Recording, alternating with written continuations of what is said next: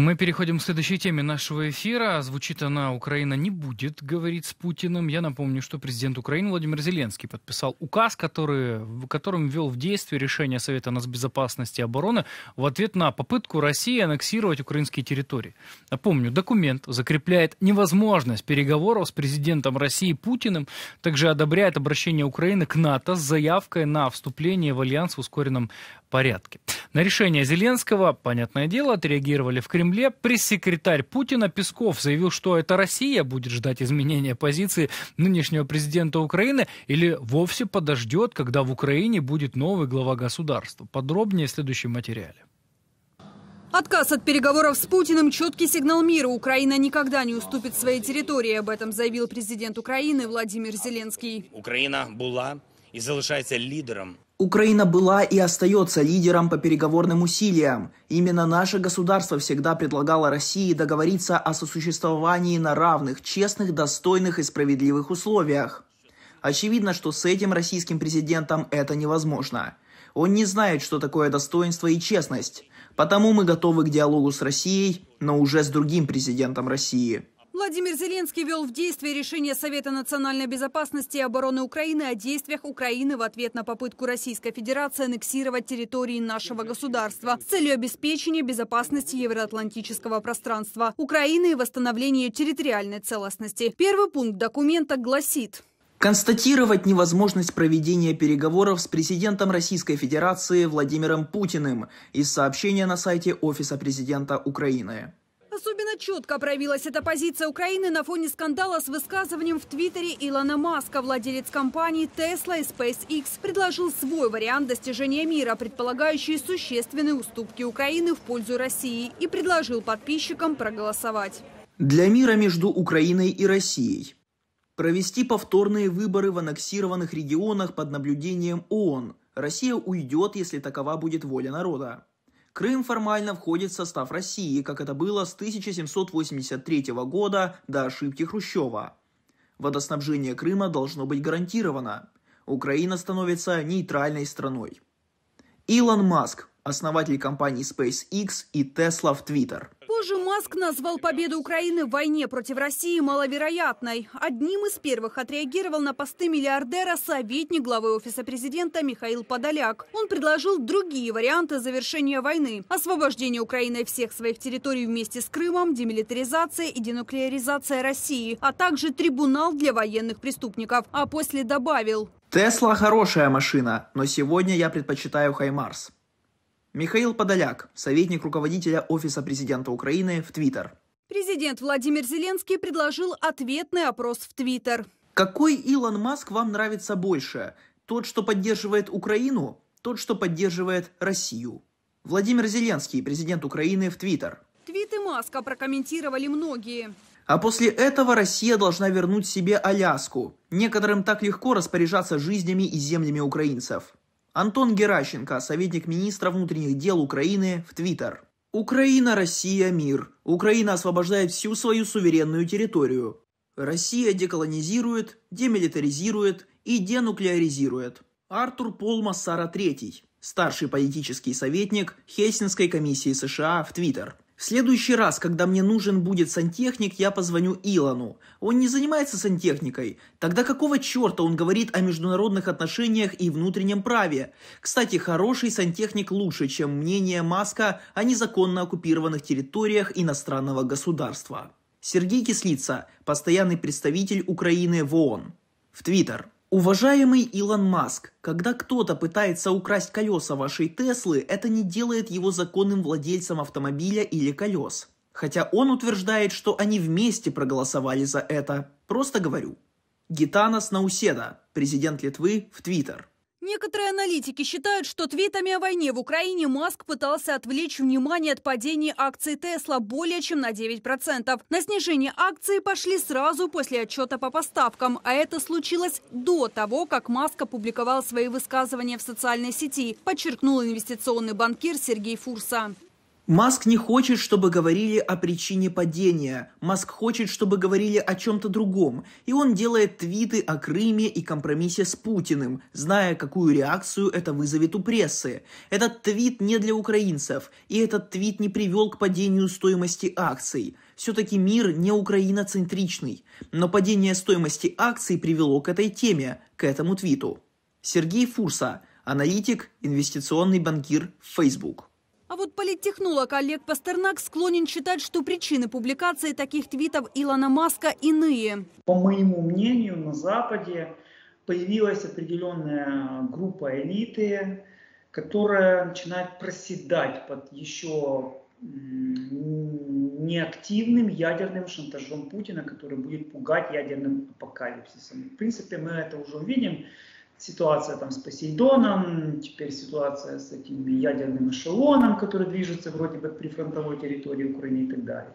То есть для какой-то части западной элиты нужна пауза, остановка с фиксацией позиций противоборствующих сторон. К слову, позже Илон Маск попытался оправдаться за сообщение в микроблоге Твиттера о своем варианте мирного плана для Москвы и Киева. Он напомнил, что всегда был и остается на стороне Украины, его компания SpaceX потратила на подключение и поддержку интернета Starlink в стране 80 миллионов долларов, тогда как поддержка Федерации составляет 0 долларов. Юлия Грановская для телеканала Freedom.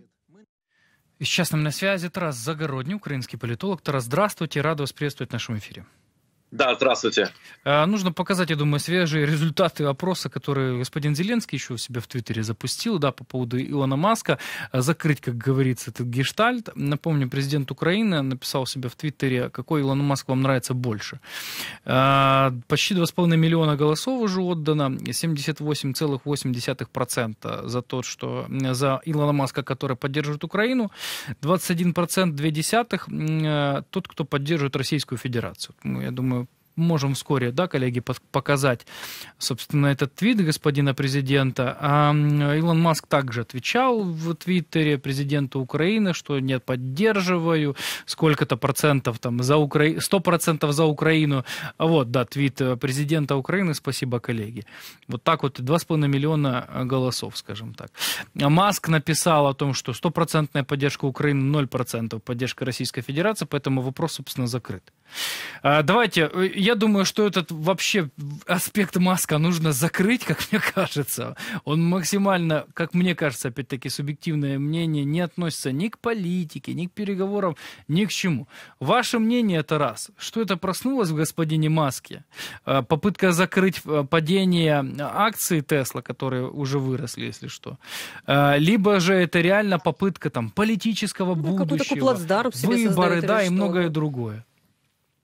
Ну, смотрите, мы должны понимать одно. Украина должна остановиться восточноевропейским Израилем и не обращать внимания ни на какие э, то, что вам, то, что нам будут говорить. Вы бы посмотрели, сколько Израилю говорили, когда он там воевал, Э, сколько были э, заявлений ООН, резолюции против него. Украина должна понимать, что несмотря на все заявления и пожелания с внешних сторон, мы должны э, строить собственное государство, собственные спецслужбы, которые будут решать вопросы с коллаборантами, с бандитами, которые в том числе на территории России строят собственный МОСАД, усиливать СБУ, Э, давать ему больше, ну, давать ему больше ресурсов, несмотря там на некоторые заявления э, депутатов Верховной Рады, как э, госпожи Безуглой, давайте не будем давать СБУ, чтобы оно не, не, не решало свои вопросы. Вот надо, ответом на это должно быть увеличение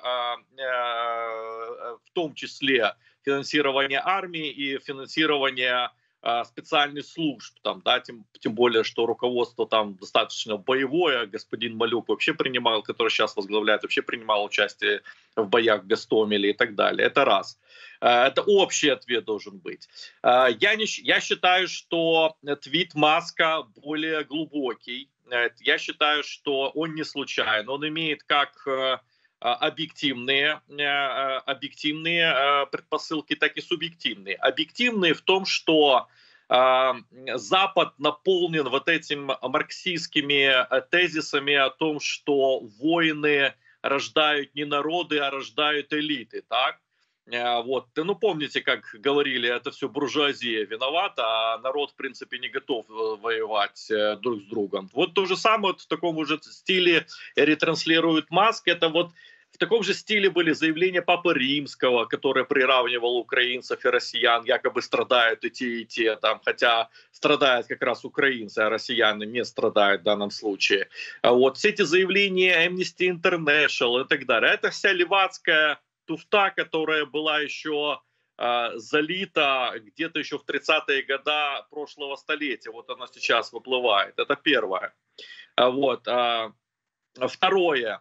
А, я думаю, что а, несколько уровней субъективны. Конечно, Маск не дурак. Э, э, я думаю, что это связано не столько с акциями. Э, я думаю, что тут уже просматривается интерес Маска к Китаю, как к рынку сбыта собственной продукции. А Китай очень очень хочет завершения войны. Вот все равно в каком состоянии он хочет завершения войны.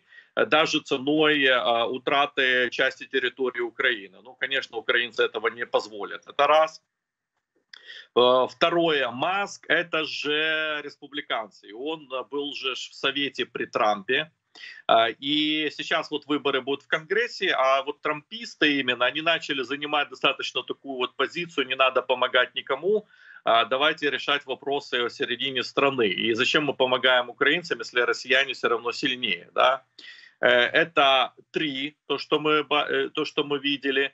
Э, четыре – это, возможно, акции. Это один из, из вариантов. Ну и сам Маск, в принципе, не скрывает, что он, возможно, будет тоже идти в политику. Поэтому не случайный. Но ответ на это должен быть, ребята, это все хорошо, как бы, но это, это ваши проблемы и ваши и ваши переживания. У нам нужно бороться за свою территорию, бороться за нас. И ваши э, вот эти вот русские нарративы, а у Маска чисто русские нарративы, если вы вните внимание, были продвинуты. Хотя часть элиты, я уверен, мировой тоже вот так вот начинает думать.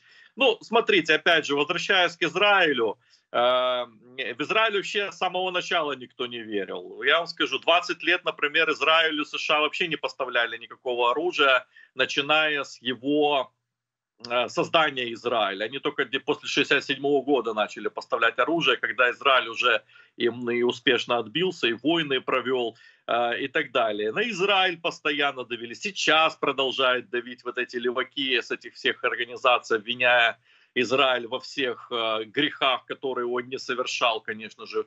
Э, вот. И поэтому в данном случае, конечно же, обращать внимание, ну, опять же, знаете, как это заповедь там, да, не сотворите себе кумира, вот не сотворяйте себе кумиров.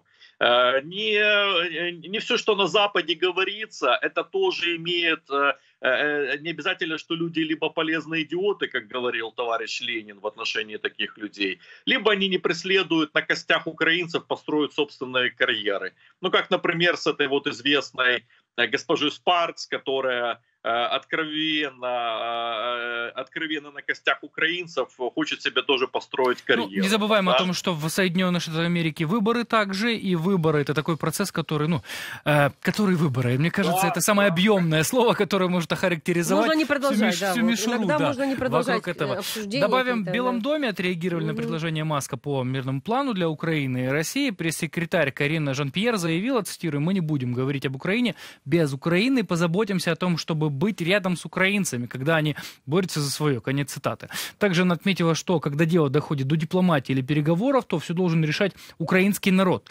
Есть еще одно мнение э, мистера Киссинджера. Я цитирую. «Нельзя допустить, чтобы тактическое ядерное оружие стало конвенциональным. Мир не должен позволить России применить его против Украины. Для этого нужно продолжать диалог с Россией». Американский политик наверное, отец современной американской дипломатии, э, дипломатии Генри Киссинджер об этом заявил. Это экс-советник президентов США Никсона и Форда по нацбезопасности, бывший госсек. А его короткая цитата, продолжим разговор. Опасно отказываться от этого диалога. Украина должна, конечно, занимать ключевое место в этих переговорах. Но в интересах Европы и Запада в целом, чтобы Россия не чувствовала себя полностью изолированной и исключенной из системы международных отношений. Диалог между Россией и Западом должен быть продолжен. Генри Кессинджер, американский политик, советник президента США по национальной безопасности в 1969-1975 годах, государственный секретарь США в 1973-1977 годах. Тут, возможно, нужно говорить не о диалоге государства Запада и Российской Федерации, а о таком треугольнике Украина, страны Запада и Российская Федерация. Но, как мы видим, шансов на то, что переговоры с Россией все-таки могут быть э, здесь и сейчас. Более того, с этим президентом, с этой администрацией президента Российской Федерации, они попросту их нет. О каком диалоге, как вы считаете, может вообще идти речь здесь и сейчас? И есть ли возможность выхода на, этого, на этот разговор между тремя сторонами. Запад, угу. давайте так, не Запад, а третья сторона, Турция, тут можно считать Китай, разницы никакой, хотя нет, э, Украина и Российская Федерация. Ну, смотрите, э, ну, Киссинджер, э, он до этого, кстати, заявил, что Украина вообще должна быть в НАТО. Кстати, это противоречит того, что господин Мас тоже говорил, давайте она будет нейтральной, и отдадите Крым и все остальное. Ну, это, смотрите, сейчас какая э, позиция какая должна быть? Переговоры э, уже, ну вот я вижу, вот State и США, они уже не боятся ядерного оружия России, они уже откровенно говорят, что не дай бог вы к этому додумаетесь до этого, мы долбанем, мы ответим. Ответ они уже опубликовали, в каком, каком формате. Ответ будет конвенциональным, который будет заключаться в том, что все, все, опять же подчеркиваю, все Э, все российские силы на территории Украины будут уничтожены в течение просто э, одного-двух дней, если, ну там три, может быть в течение недели. Это господин Ходжес заявил, Черноморский флот будет уничтожен и все остальное. Э, и другие представители тоже об этом уже заявляли. США может сейчас, диалог должен быть силовым, должен быть четкое понимание, что Украина де-факто это уже является частью Запада, и а, над ней, и а, над ней уже раскрывается ядерный зонтик. Это наша главная, главная цель, которая сейчас должна быть достигнута. Это, кстати, многие не понимают, а зачем Украина вот сейчас а, подала заявку НАТО, да, с требованием по ускоренной процедуре. Мы видели, что некоторые экзальтированные товарищи начали кричать у нас о том, что этого не надо было делать, не надо было напрягать наших партнеров. Надо напрягать наших партнеров. Что значит не надо напрягать наших партнеров? Пусть быстрее думают. Это раз. Второе, там же главное то, что, о чем говорится вот э, по ускоренной процедуре, как Швеция и Финляндия, э, там же создан прецедент в 21 веке, когда непосредственно США и Британия дали прямые гарантии Финляндии и Швеции до вступления в НАТО. Так это нам то, что главное сейчас нужно. А, получение прямых гарантий Соединенных Штатов Америки и Британии, ядерных хотя бы, а все остальное сделает украинская армия. Вот о чем идет речь, и вот о чем, в принципе, вот э, говорит Киссинджер. Если покопаться в его, он, он, он развернул, конечно, свою позицию. Помните, когда он в Давосе опозорился Э, начал говорить о том, что давайте дадим территории после того, как на него все накинулись. Э, он быстро понял, что, э, конечно, работа на России и Китае, это никто не скрывает, что он, он обслуживает Россию и Китай последние 20 лет. Это, конечно, хорошо, но честное имя нужно все-таки беречь, потому что честные люди стоят дороже. А, Тарас, я хотела бы, чтобы мы с вами продолжили, ну, потому что вот мы сегодня уже показывали и президента Украины, а, который говорил, что, ну, Россия на самом деле, несмотря на то, что постоянно говорит о переговорах, а, не хочет их продолжать и продолжает боевые действия. Это понятно, это логично, абсолютно. Я вот сейчас предлагаю, чтобы мы еще послушали советника руководителя Офиса президента Украины Михаила Подоляка о том, что Россия на самом деле предлагает не переговоры, а ультиматум. Если мы вспомним то, что было 7 месяцев назад, мы помним те ультиматумы, я сейчас напомню, там, денацификация, демилитаризация, нейтральный статус, Отказ что там еще было? Э. Кры... О, точно, там же Крым фактически, да, звучало э, отказ от Крыма. На самом деле ультиматум продолжается и договаривается со страной, которая пытается присвоить себе украинские территории, продолжает обстреливать Украину ракетами, нарушать международное право в полном объеме, нет никакого смысла. Чтобы он появился, этот смысл, Россия должна сначала что сделать? Вывести свои войска к международно признанным границам 91 года и прекратить огонь.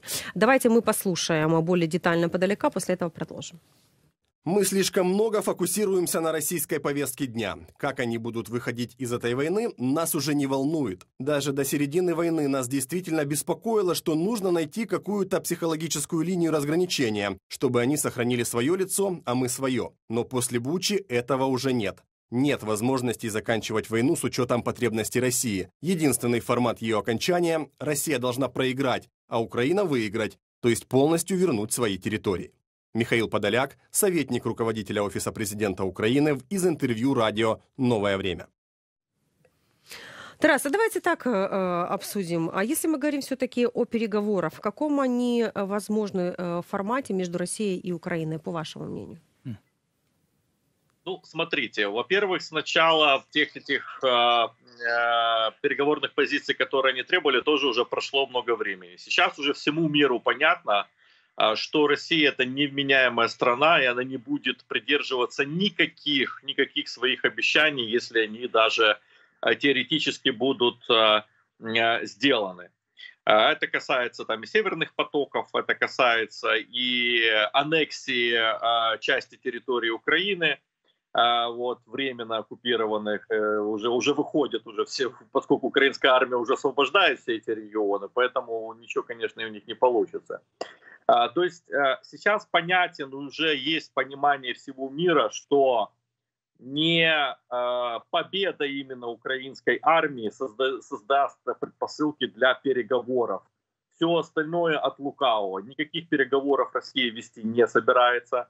Она хочет сейчас, главный ее мейнстрим, получить передышку, э, оккупировать территории, получить передышку, перегруппироваться, чтобы с новыми силами напасть на а, Украину.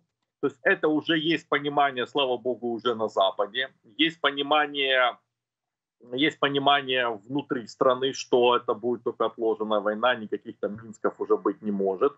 А, вот. И в данном случае а, переговорная, хорошая переговорная позиция только после того, как как минимум будет уничтожена группировка российских войск на территории Украины, э, и, скорее всего, это, опять же, выход на границы 91 -го года. Кстати, своей аннексией, своей аннексией, которую вот они объявили, они же фактически подставили всех своих пророссийских лоббистов на территории Запада, которые говорили, что все не так и так далее. И они же осторожно прощупывали уже почту. Хорошо, почву. Хорошо, давайте мы отдадим Украине там Донбасс и юг Украины, а давайте Крым нет. Все, Крым уже фактически обнулен вот этими так называемыми референдумами, и теперь Крым уже э, часть тоже повестки дня для освобождения Украины за участие в нашем эфире, как всегда, за конструктивную экспертизу. Обязательно с вами еще увидимся и поговорим. Тарас Загородний, политолог, э, был с нами на связи.